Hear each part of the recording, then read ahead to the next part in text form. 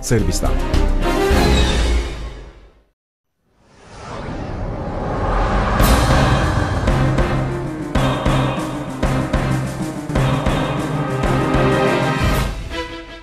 Kültür Bakanı Liliana Kolik, ilköğretimden evrim tarihi derslerinin kaldırılmasına veya uygun bir karşılığı olarak yaratılışçı bir eğitim oluşturulmasına emir verdi.